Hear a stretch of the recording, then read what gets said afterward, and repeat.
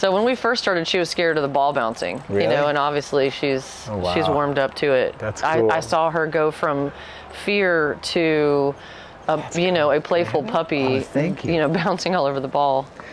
Are you familiar with fear periods? No. Go get it.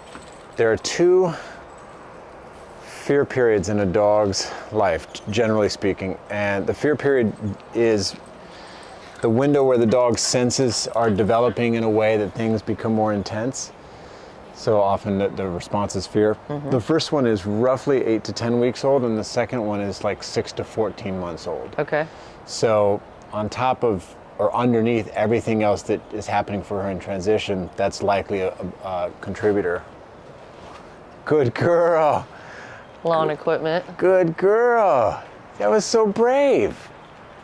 You want to go check that out again? You did that, huh? You checked that thing out by yourself. I love that.